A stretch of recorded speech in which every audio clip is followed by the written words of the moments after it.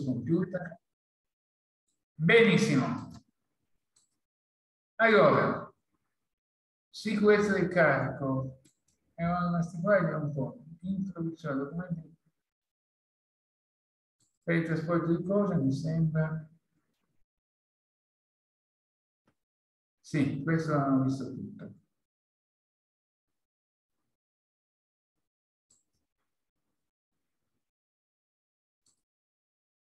Questo non ci interessa perché stiamo facendo le patenti C, per cui non ci interessa.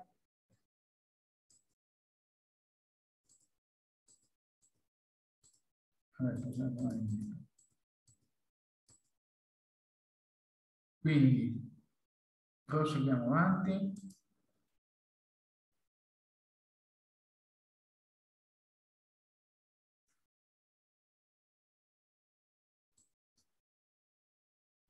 Ok.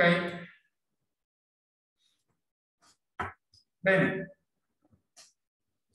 Allora, ritorniamo sul discorso dei veicoli, quindi patente C, la scelta dei veicoli che io devo fare per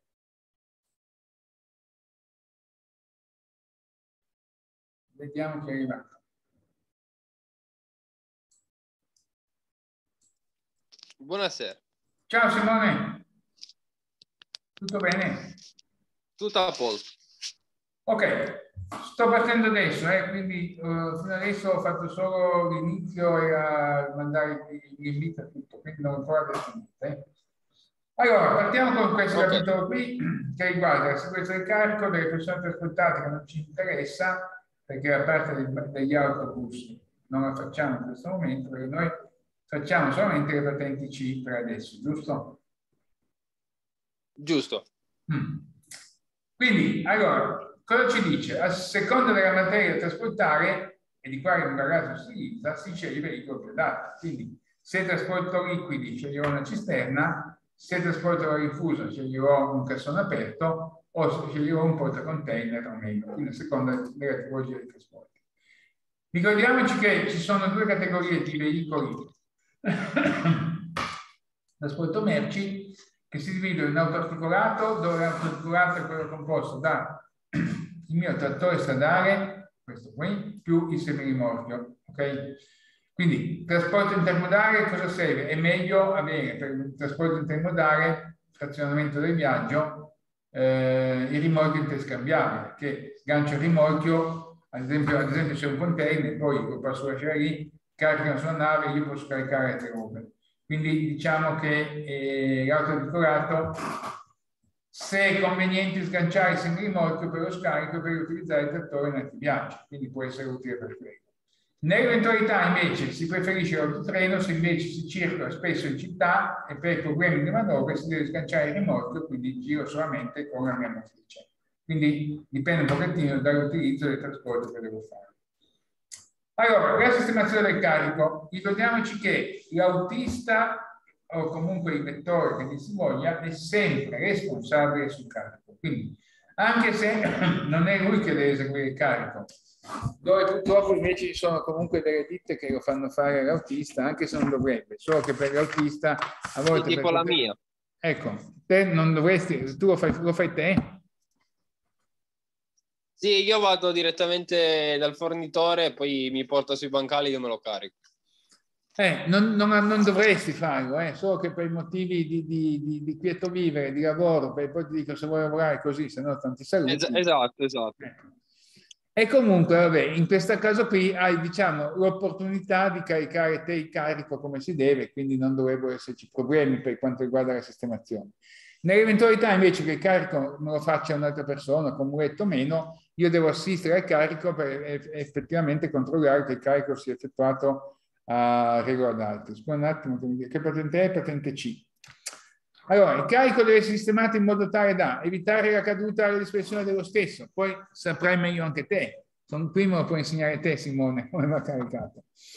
Non diminuire la visibilità al conducente, non impedirgli i movimenti, non compromettere la stabilità del veicolo, non mascherare i dispositivi del veicolo, frecce, luci, eccetera, e poi non superare i limiti di sacco e di massa, soprattutto i limiti di massa. Ricordiamoci che per quanto riguarda la massa abbiamo una tolleranza del 5%, sulla massa del carico. Eh, io con l'ADR invece ce l'ho a zero. Ah, tu ADR sei a zero, completamente a zero. Non puoi assolutamente, l'ADR non comporta Sì. delle, eh, delle- Io infatti sto sempre un po', un po' più scarico. Eh, ti conviene. Poi, oltre a dover essere compatibile con la portata e il volume utile del veicolo, non deve compromettere la stabilità e per questo motivo deve essere fissato adeguatamente, quindi deve essere ben legato o con catene o con funi. Teniamo conto che adesso qui in Italia non lo fanno ancora, ma la nuova normativa europea prevede anche qui da parte della polizia dei controlli sul fissaggio del carico. Quindi hanno delle tabelle, in base al carico sanno che io ho bisogno di 5 funi, 6 funi, se ne avesse 4 mi danno una multa.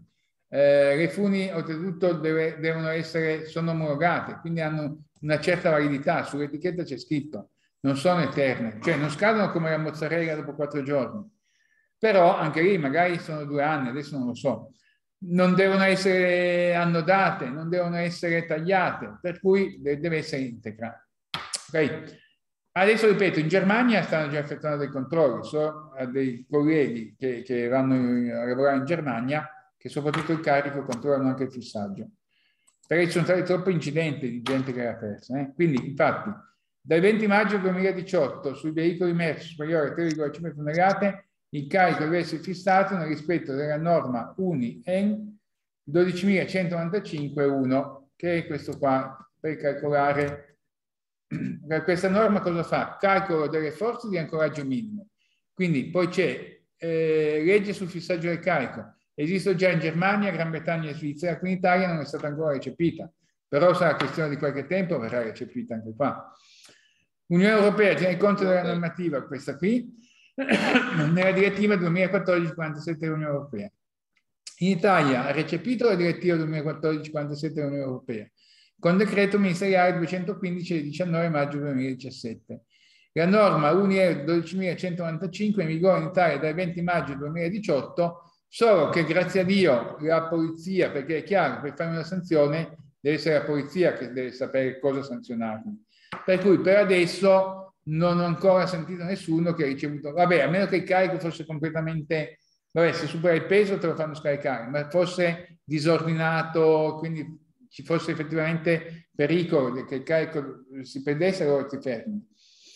Ma non vanno ancora a controllare effettivamente se hai messo 5 funi piuttosto che 4, o il tipo di funi o come l'ancoraggio.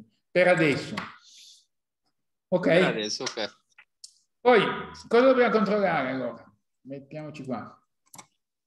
In pratica occorre contrastare con dispositivi e tecniche adeguati le forze del carico per sviluppare su strada. Quindi teniamo conto che tutto quello che è dentro il veicolo ha la stessa forza, la stessa velocità del veicolo stesso, nel senso che anche sull'autobus, ad esempio, i passeggeri che sono in piedi, se l'autista frena di colpo, i passeggeri si spostano con la stessa velocità che andava l'autobus addosso al finestrino, per, dovuti alla forza di, di, di inerzia che ci spinge in avanti. Okay? Di conseguenza anche tutte le merci, se non sono ben legate, si spostano avanti e indietro eh, sobbalzi, quindi in alto o laterali nelle curve. Quindi le forze in avanti sono l'80% del peso del carico, quindi la forza peso che viene, un, un, qualsiasi cosa che mi viene addosso, mi viene addosso alla cabina e mi schiaccia. Eh. Forza indietro in accelerazione 50% del carico, forze laterali a destra e a sinistra 50% del carico. Poi la forza di stacco e le vibrazioni, soprattutto quando sono dosi artificiali, che eventualmente si possono sbagliare. Poi il carico deve essere sistemato in modo da evitare la caduta o la dispersione del carico stesso. La cosa migliore, che non so se l'hai già visti, sono i tappetini, proprio tappetini che servono per il carico. Costano cari, eh, perché sono cari. Ma è come fosse dei... Non ho capito. No, che il tappetino non l'ho mai visto. Ah, vabbè, perché te non carichi... Come carichi? Fuso? Eh, io ho le taniche e le carico. Ah. Beh, le taniche, beh, ma comunque le, le blocchi in qualche modo. Sì, allora, praticamente se ne metti 10 in fila stanno incastrate tra di loro e non si muovono. Sì, sono fatte a misura standard che per cui stanno. Se no, quando è, è sfuso, soprattutto cassa cosa che è sfuso, I tappetini sono proprio tappetini che se, servono per, eh, per evitare l'attrito, aumentare l'attrito, quindi non si muovono proprio, proprio più. Poi ci sono dispositivi come alcuni e ganci, quindi a seconda della merci che trasporto, devo sapere come agganciare. Eh. Già, è stato studiato tutto, quindi non è che mi invento niente. Ad esempio, i rotoli di, di cave d'acciaio sì, sì. ci sono alcuni che lo tengano, i ganci, poi ci sono, vabbè, tutti i ganci che sono gli occhiali con il gancio col cricchetto, quindi cricchetto che va anche qui teso, non troppo, e comunque devo mettere protezione sul carico, perché se stringo troppo rischio di andare a rovinare, sempre rotoli di carta. Le cisterne hanno il loro tipo di carico. Eh, ecco, in questo caso qui che sono cose mobili, eh, il tappetino sarebbe ben utile piuttosto che... Perché questo qui come legato io ho tanta paura, eh? perché con quattro cinghie in croce così non, eh, non, non sarei tanto soddisfatto. Ah, eh, perché qua, boh, vabbè, comunque finché non succede niente, più una curva un po' veloce. Se, se, se, oddio, non è che mi sembra delle funi tanto nuovo questo. Vabbè, comunque. No, quelle sono un po' andate. No, infatti. Allora, cosa dobbiamo considerare? Il baricentro di un corpo è il punto di equilibrio tra i pesi delle varie parti che lo compongono, infatti anche detto centro di gravità. Centro di gravità, il baricentro sarebbe quello che io ipoteticamente sollevassi il mio camion con un cavo d'acciaio, mi rimane in equilibrio, non va né avanti né indietro. Ogni, ogni merce che io carico c'è il suo centro di gravità. Io devo fare in modo che quando carico il mio veicolo, con tutte quelle che sono le, le merci, vado a stabilire un baricentro non troppo in avanti ma neanche troppo in alto, perché più salgo in alto e più ho la possibilità di in curva eh, eh, sbandare e, e piegarmi in curva.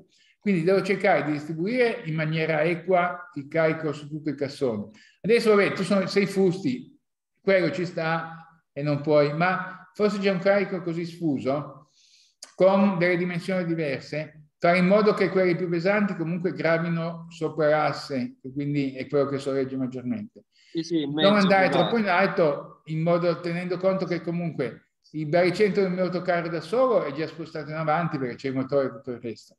E quindi fare in modo eventualmente di distribuirlo maggiormente non metterlo solamente nella parte posteriore, perché è chiaro che nella parte posteriore vado a inficiare e si alza davanti, quindi cercare di distribuire in maniera equa. Poi, quello che dicevo, più alto è il centro di gravità, più il carico tenderà a ribaltarsi. Più mi alzo col baricentro e più è facile in curva che mi ribalti. Soprattutto quei veicoli, le cisterne, ad esempio, che magari sono mezze piene, mezze vuote, le bettoniere, che tutto si muovono anche. Quindi più il mio carico è alto, quando è che si rovescia la betoniera? Quando entra in una rotonda, quando entra magari in una curva, in una, una corsia di decelerazione che deve diminuire la velocità e arriva troppo veloce e magari in curva. Allora lì di colpo si trova in difficoltà e c'è il rischio per ribalti. Quindi il baricentro cambia a seconda del numero del posizionamento dei cori, abbiamo visto qua, può cambiare chiaramente a seconda del numero dei cori, come sono posizionati e del peso stesso del numero dei cori. Poi cosa dobbiamo fare attenzione alle indicazioni che ci sono sul coro stesso, quindi è chiaro che se c'è scritto fragile come questo qui, non ci devo mettere il simbolo del bicchiere, non ci devo mettere sopra eh, della roba. Mm? Va bene, poi per evitare lo spostamento del carico bisogna guidare in maniera fluida, quindi non scossoni, non partenze brusche, frenate se posso, non frenate eccessive, ma sempre in maniera graduale. Poi, se accade di frenare bruscamente, si consiglia di controllare lo stato del carico. Quindi dovessi fare una frenata brusca, poi prima di ripartire controllo che non si sia ammucchiato tutto, che quindi come legato non si sia mosso e non mi trovo la roba tutta ribaltata in cabina. Poi il carico o addirittura il veicolo rischiano di ribaltarsi se il baricentro è troppo alto e o spostato verso l'esterno, specialmente se sono presenti molte forze laterali di disturbo. Quindi un carico come in questo caso qui, vedi che fusti, se è troppo in alto e non è legato bene in curva tende ad andare sull'esterno. Mm. Oppure anche la mia cisterna sul mio adotto con il vento laterale, quando abbiamo una superficie vera ampia, può variare quello che è il mio baricentro e quindi potrebbe anche eh, facilitarmi nello sbandamento. Quando c'è vento forte, guarda che arriva anche a 120-130 km h Poi, Sì, infatti quando scendo dalla Val d'Aosta si sente. Eh, si sente, sì, sì, sì. Stabilità delle cisterne. Nell'aiutare una cisterna occorre tenere conto del fenomeno dello sbattimento longitudinale trasversale, soprattutto se la mia cisterna è mezza vuota o mezza piena, come si voglia. E quindi il liquido che c'è sbatte. Se è tutta piena, no. Devo considerare il peso, ma però non c'è più lo sbattimento. Perché in... Uh, se funziona. In accelerazione cosa succede? Il mio liquido tende ad andare indietro. In frenata tende a spostarsi in avanti e quindi mi spingo, eh, che cosa fare? Ok? Poi il problema del baricentro è maggiore nei liquidi perché nello spostarsi il liquido modifica continuamente il baricentro della cisterna. Te va bene che sono tanti fusti e poi sono tutti pieni. No, Simone? Sì. Quindi non senti sì, tanto... hanno poco di vuoto. Perché... Sì, non senti tanto lo sbattimento. Mm? E vabbè, qui vediamo. Ma quando freni un po' lo senti. Vabbè, quando freni sì, lo senti. Sì, sì, dovuto al peso, sì. Una cisterna mezza vuota, il liquido, vedete che effetto che fa. Poi più il liquido è denso, quindi in conto l'acqua, magari trasporta del, del, liquido più denso, il latte che è più denso, olio che è più denso. Il, il movimento è molto più lento e quindi lo, lo, lo, il ribaltamento è molto più accentuato. Idem a sinistra la stessa cosa, sinistra a destra, curva a destra chiaramente si sposta a sinistra, curva a sinistra tenderà a spostarsi sulla destra. In accelerazione abbiamo visto. Quindi per limitare tale effetto le cisterne di Neumann hanno più scomparti separati tra di loro per mezzo di diaframmi, pareti aperti, essi non impediscono il passaggio del liquido da uno scomporto all'altro, ma lo rendono più lento e più contenuto. Quindi sono questi diaframmi aperti e quindi il liquido non va tutto di colpo di lama, è vincolato da questo diametro qua.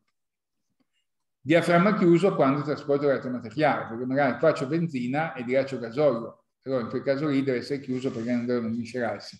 Diaframma aperto invece porto la stessa, la stessa liquido, stesso, e ho la possibilità appunto di avere minore sbattimento in accelerazione in frenata. Poi varia anche quello che è la, la forma, eh? perché se fate caso sono abbastanza, non sono rotonde. Rotonde sono quelle che trasportano il gas, perché tanto lì il gas è, è aeriforme, quindi non c'è sbattimento. Quelle che trasportano liquidi, se avete fatto il caso, sono abbastanza ellittiche, non sono, sono un po' schiacciati su, su eh, alto e basso, proprio per ridurre quello che è il fenomeno dello sbattimento. Sul rotondo è, è maggiore. Poi carico sporgente ammesso, quindi sappiamo che possiamo sporgere per il 30%, non sulla DR, DR non può sporgere niente. Eh? Invece sugli altri Abbiamo veicoli... Tanto le taniche non sporgono. Vabbè, le taniche non sporgono, no, quello è vero. Allora, entro i limiti di sagoma generali, quindi sappiamo che i limiti di sagoma per quanto riguarda la lunghezza dei veicoli sono 12 metri, quindi io non devo sporgere, se il mio veicolo è già 12 metri non posso sporgere niente, se no diventa un trasporto eccezionale. Se invece è lungo ad esempio 7 metri, posso sporgere il 30% della lunghezza del mio veicolo, ok? Che sarebbe 3 decimi, quindi... Ma se ho 12 metri? Non puoi più sporgere... 12 metri sporgo solo davanti come in figura. 12 metri... Ma neanche davanti? Eh? Ok. No, così... No, no, volevo chiedere solo se sono davanti. Sì. Se 12 metri, niente, non è il limite massimo. Se invece sei 7 metri, 7 per 3, 21, puoi sporgere 2 metri 10. Se sei 10 metri non puoi sì. fare il 30% perché sennò arriveresti a 13 metri. Quindi se sei 10 metri al massimo puoi sporgere 2 metri. Ok. Ah, quando porto chiaramente un carico sporgente lo devo segnalare con il pannello degli scarichi sporgenti. Questo qua che è 40x40 di materiale riflettente. Se sono il carico mi tiene, forse c'è la slide dopo, no. Allora, se il carico è solamente centrale ne metto uno che sporge qua così. Eh? Se invece è su tutta la superficie ne metterò di due di cartelli. No, ok. Poi lateralmente posso sporgere massimo 30 centimetri, ma non dalla sagola del mio veicolo, ma dalle luci di posizione. Ok? Però se sono già 2,55 m, che è la larghezza massima consentita, non sporgo niente lateralmente. Va bene che ne so, se sono 1,50 m che sporgo 30 cm, che poi 1,50 m qua saranno 25 cm. Eh. Per dare luce di posizione 30 cm sono poi sì, 20 sì. cm. Quindi saranno 20, 20, 40, 1,50 m, sì, arriviamo a 1,90 m, sì. Mm. Davanti invece non posso sporgere niente, quindi se ho delle tavole lunghe o le metto dietro e sporgo nella parte posteriore, che posso, o se no non le posso caricare. Quindi queste qua le avrei messe chiaramente più, più in basso e nella parte posteriore, in modo che questa metro quanto è di distanza sporgesse dietro. Bisogna vedere se questo è lungo 12 metri, però. Boh, vabbè. Poi il conducente responsabile della sistemazione del carico deve fare riferimento alle istruzioni di trasporto quando presenti. Quindi dovrebbero darmi le istruzioni di trasporto. Sulla DR me le danno sempre, più che altro per la sicurezza. Mm? Sì, sì, io c'è tutto il foglio stampato che se no non gli piace. Esatto, e devi fare attenzione, devi sempre fartelo dare quello. A parte che te lo danno. Quindi un carico sistemato mare può influire sulla stabilità di marcia e sbilanciare il veicolo, causare caduta e danneggiamento delle merci, causare frenate squilibrate pericolose, danneggiare gli assi, danneggiare freni, sospensioni, ammortizzatori, pneumatici e può produrre anche ribaltamento o incidenti. Attenzione, sistemare mare carico sui veicoli sono, vabbè, non è tanto la multa, 87 euro, ritiro della patente carta di circolazione e tre punti in meno finché non ho sistemato il carico in maniera corretta. Quindi se sono con un camion che magari non è corretto bene, mi fanno stare lì, devo sistemare il mio carico, quindi devo chiamare una gru, perché magari da solo non ce la faccio, quindi non è che spendo solo 87 euro, 87 euro è la multa, più tutto quello che è il, la sistemazione del carico. Poi il sovraccarico si ha quando il carico... Eh? Che ti ritirano la patente solo finché non lo metti a posto. Cioè, finché non messo a posto, certo. Non mi fanno andare via finché non lo Poi, poi lo metto a posto, me la ridanno e parto. Sì, sì, sì, va. Ti, ti paghi la multa e te ne va. Il sovraccarico si ha quando il carico supera per massa il valore di portata del veicolo rilevabile dalla carta di circolazione. Quindi la massa complessiva a pieno carico, ripeto, posso uscire del 5%. Infatti il sovraccarico è dannoso e pericoloso. Per legge è consentita una tolleranza del 5% in più. Eh, non te che fai lo sai la DR, eh? quindi quando il carico assieme al veicolo supera, no, no, no, io no, io no. Più niente. Del 5% il valore della massa complessiva pieno carico indicato sulla carta di circolazione, sanzioni tutti quanti, al caricatore, al conducente, al proprietario e al committente. Quindi la legge va a prendere tutti. Per i mezzi pericolosi infatti non c'è nessuna tolleranza di sovraccarico. Il caso, il sovraccarico, vabbè, a parte questo, mamma mia, cosa comporta? Un maggiore inquinamento perché consumo maggiore, ma, ma consumo di più, perché l'autoveicolo ha un carico maggiore, il motore lavora di più e quindi più a fondo e quindi consuma maggiormente. Guasti strutturali, perché è chiaro, il mio veicolo è abilitato per portare 20 tonnellate, ad esempio, se ne carico già 30, sorregge, sì, però le sospensioni lavorano male, i freni lavorano male, il, il motore fa più fatica, poi instabilità nella marcia con 10 tonnellate in più lo sento, quindi è tutto sbilanciato, sento che è come guidare chiaramente su, su un budino. Allora, provvedimenti sono tanto più severi quanto maggiore il sovraccarico, sono cioè proporzionali alla gravità dell'infrazione. Quindi eccedenza di massa fino a una tonnellata o al 10%, quindi una tonnellata in più o al 10%, mi tolgono solo un punto e 42 euro la sanzione. Poi di massa 2 tonnellate o fino al 20% sono già due punti o 87 euro. Di massa, eccedenza di massa fino a 3 tonnellate o al 30% sono 173 euro e 3 punti in meno poi eccedenza di, passa, di massa superiore a 3 tonnellate o al 30% sono 4 punti e 430 euro. Quindi la sanzione è senz'altro più alta. Poi decurtazione dei punti e anche qui c'è oltretutto anche la sospensione della patente. Minimo per un mese, oltre quello che è la multa, la decurtazione dei punti e la sospensione della patente. Allora, le operazioni di carico-scarico merci sono di norma effettuate dal caricatore o dal mittente e o destinatario. Qui te devi fare te invece. Anche lo scarico? Eh, io sì. Mm. Sì, anche lo scarico perché consegna, cioè, quindi le taniche le prendiamo e le portiamo direttamente noi dove le devono stoccare. Mm. Allora, le... l'emittente e o destinatario, il conducente deve però controllare che la sistemazione del carico sia corretta, manovrando eventualmente le attrezzature, gru, sponde, montacarico, eccetera, presenti sul proprio veicolo. Vabbè, se c'è la gru è chiaro che devi essere te. Quindi, cosa deve fare il caricatore? Ancorare le merci con funi, cricchetti e quant'altro. Accettare che le merci non si utilizzino tra di loro, quindi se ci sono più merci mettere in mezzo mettere dei, dei tipo i pare lì, come si chiama, il Purimbo, quella roba lì. Oppure essere sì. legate. Rispettare indicazioni poste sul core, quindi quello che è alto e fragile. Coprire carica e rinfusa, quindi quando porto sabbia cosa per evitare che si disperda. Rispettare i pesi dei lotti in caso di carichi sovrapposti, quindi non mettere la roba più pesante sopra e di sotto meno pesante poi in viaggio ogni tanto fermarsi per verificare la tenuta del carico e guidare senza brusche manovre. Poi comandare personalmente gli eventuali dispositivi di carico, esempio la gru, sì certo, la gru che c'è sul camion è responsabile dell'autista, quindi non la deve dare a terze persone per motivi di sicurezza, perché magari non la sanno usare e si fanno del male. Poi in caso di sovraccarico chiedere di scaricare l'incidenza, quindi quando te lo caricano sopra, se te ne accorgi dovresti dire che tu non parti.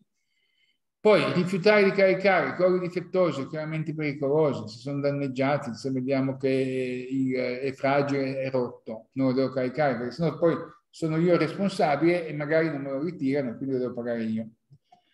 Tenere conto dell'ordine di consegna dei singoli cori, è chiaro che la merce che consegno per ultima la devo mettere per, eh, cioè sì, eh, per ultima la metto per prima e viceversa. Mi terrò sempre a parte, va bene, che si possono anche scaricare lateralmente, cioè sempre lateralmente, però se non c'è la possibilità che un cassone è chiuso, la sistemazione deve essere fatta in base a, allo scarico quando va fatto la consegna. Poi, se si utilizza la gru montata sul veicolo, prima di iniziare l'operazione assicurarsi di aver bloccato il veicolo con i piedi copici stabilizzatori. È importantissimo eh, sapere anche il terreno dove io vado, perché a seconda se è un terreno franoso come questo qui, che io carico 20 tonnellate qua, anche se mi sembra che sia in piano, rischio di, di cadere. Quindi, se il sottofondo è buono, la, il rapporto è uno a uno cioè la, la, questa altezza qua è uguale a questa qui, 1A, quindi la distanza dalla base alla, alla l'unghia della scarpata, urca. Dalla base all'unghia della scarpata deve essere la stessa altezza dalla base alla, alla punta della scarpata. In caso dubbio ha eh, 2 a 1 e dobbiamo fare attenzione perché se A è più lungo, soprattutto quando sbraccio, c'è il rischio di, di finire giù io della scarpata. Ok, quindi fare attenzione soprattutto quando si caricano dei colli così lunghi. Poi, se si carica il veicolo caricato con pallet pesanti su doppia fila e viene scaricato in alternative, uno sbagliato per non sbilanciare, quindi scaricare alternativamente, in modo che non sbilanci il carico stesso troppo in avanti o troppo indietro. Poi quando si scarica un cassone ribaltabile, questo è pericolosissimo perché c'è il rischio di ribaltare, perché lo stero che, che, che alza qui, soprattutto se il carico è bagnato, bagnato che quindi non viene giù, rimane attaccato, bisogna essere sempre in due eh, quando si, effetti, si effettuano questi scarichi con il, um, il, il, la sabbia. Uno dietro che controlla effettivamente che la sabbia perché se è argilloso ad esempio non scende rimane attaccata lì e a un certo punto questo continua a salire e poi si spezza il pistone qua e si rompe tutto. O conviene salire piano piano e dare dei colpetti, dare dei colpetti in modo che si stacchi.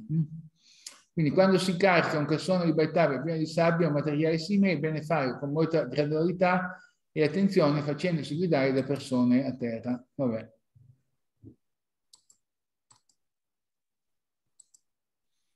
Poi per la movimentazione, il carico e scarico di merci o macchinari è sempre opportuno indossare alcuni mezzi di protezione come guanti e scarpe rinforzate. Te ce l'hai? Beh, le scarpe penso di sì. Ah, boh, sì, le scarpe perché oltre a, gui- a, guidare io faccio, cioè lavoro anche, faccio proprio impianti, quindi sì. Ah beh, per forza. Guanti. Quindi guanti, beh, il casco, effettivamente non, non, il casco se, se, ci sono carichi che cadono dall'alto, il cantiere il casco serve. Mm, sì, io ma... nel dubbio me lo porto sempre dietro che se arriva mai un controllo almeno non mi rompono le scatole. Ah beh, sì, sì. Gli occhiali potrebbero servirti per, per i gas, eh, gli acidi che producono, il gas che producono eventualmente. Poi per quanto riguarda l'autobus non ce ne frega niente. L'autobus non ci interessano. Vediamo il crash test, questo è Berlino.